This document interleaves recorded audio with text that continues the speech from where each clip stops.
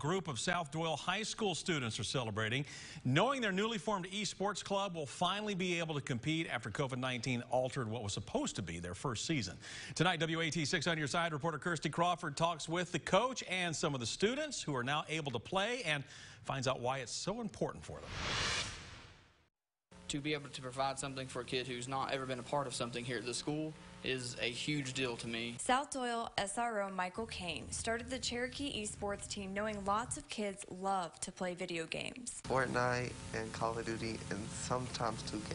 I like playing Fortnite a lot. Call of Duty and Fortnite. More than 90 students signed up for the club last year, but... We raised money last year and got it sent off, and then COVID hit and that kind of took away all of our funding. The money allows students to play in tournaments against other students from all over the country and the world. That's one reason why these kids joined. Esports brings different types of students together with a little friendly competition. I'm able to meet people that I wouldn't like normally meet like at school and we're able to like play video games and talk and like I don't know, it's really fun to get really close to people. It's a good community. Like you can just you can just be you and you can't you don't have to be like anybody else, just yourself. Competition is a fun thing.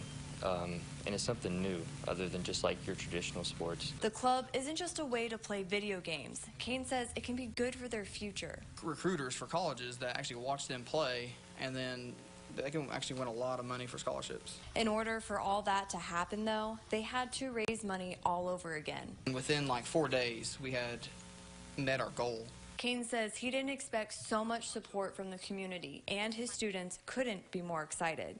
I want to thank my coach for actually letting doing this. Reporting in Knoxville, Kirsty Crawford, WATE 6 on your side.